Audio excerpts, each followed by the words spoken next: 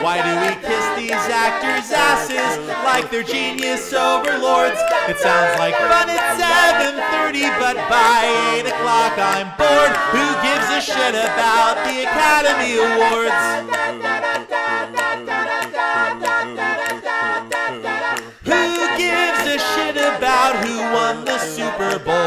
Why do we all give in so easily to corporate mind control?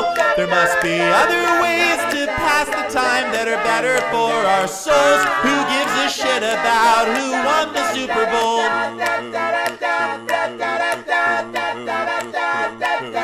Who gives a shit about political debates? We're stuck waiting for a hero, but it's probably much too late.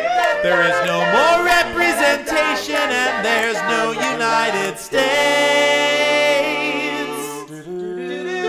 Who gives a shit about these Frankensteins? Their ugly, empty party lines. The stars that say they feel your pain, then fuck off in their private planes. And who really gives a shit about the Academy Awards?